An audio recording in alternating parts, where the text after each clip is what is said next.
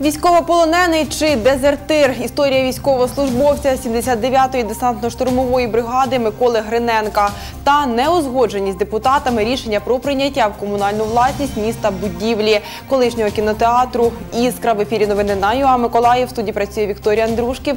Доброго ранку.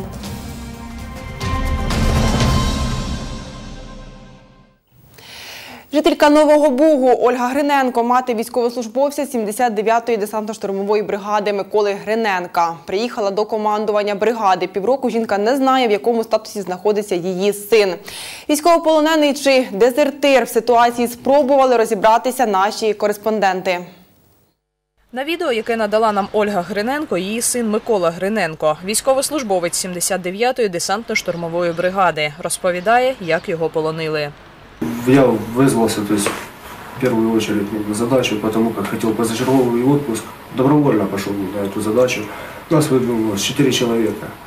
То есть, при- ну, по- по- под- подлезли мы к посадке, ну, метров 15. Я подлез ближе и нарвался там то ли на сигнальную мину, то ли на растяжку, я не знаю. Заступник командира 79-ї десантно-штурмової бригади Ярослав Калашник говорить, бойового завдання не було. Проводилась е, не тільки службова перевірка, проводились ще слідчі дії. Я вказав вже вам всі органи, які проводили. Е, Жодного підтвердження віддання наказів усних чи письмових не було.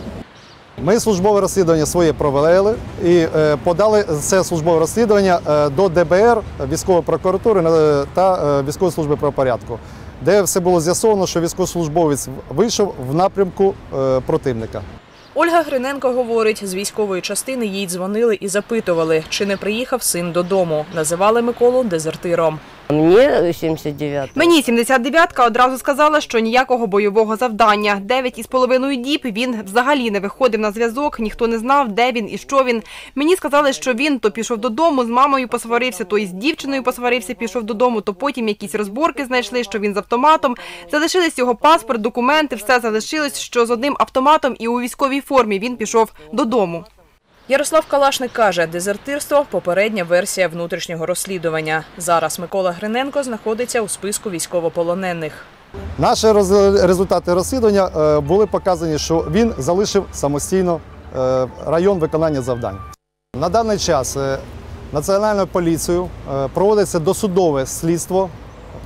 Підкреслюю, що Національною поліцією Волноваського району Донецької області проводиться досудове слідство, в якому вони встановлять факт або це незаконне е, е, його затримання, точніше викрадення, або інший факт. І крапку поставить тільки суд. Він, е, він знаходиться поданий в списки полонених, тому ми тільки чекаємо, коли буде обмін полоненими, або його іншим способом повернуть додому. Валентина Гурова, Юлія Коскова. Новини ЮА Миколаїв. Вчора під час другого пленарного засідання 52-ї сесії міської ради депутати не узгодили рішення про прийняття в комунальну власність міста будівлі колишнього кінотеатру Іскра за 22 голоси. Мер Олександр Сінкевич утримався від голосування. Говорить, його позиція за що за гроші Миколаївської обласної ради треба відремонтувати його, перш ніж місто забере собі на баланс. Нагадаємо, у 2012 році з міської комунальної власності будівлю кінотеатру передали на баланс області. Там планували розмістити філармонію. Цього не сталося, і будівля сьогодні у напівзруйнованому стані. За фактом бездіяльності посадових осіб Миколаївської обласної державної адміністрації та обласної ради, яка призвела до пограбування комунікацій та руйнування елементів будівлі кінотеатру Іскра. У поліції відкрито кримінальне провадження. Триває також розслідування щодо бездіяльності посадових осіб Миколаївської обласної адміністрації та обласної ради, яка призвела до такого стану колишнього кінотеатру. Голова обласної ради Вікторія Москаленко пропонує виставити будівлю на аукціон або повернути до комунальної власності територіальної громади Миколаєва. Зараз передаю слово до студії нового дня. Ми з вами зустрінемось у цій студії о 8.30.